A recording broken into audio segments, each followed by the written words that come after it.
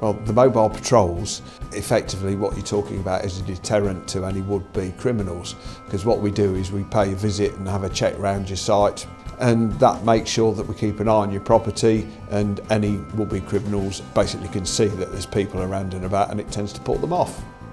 Uh, for the mobile patrols,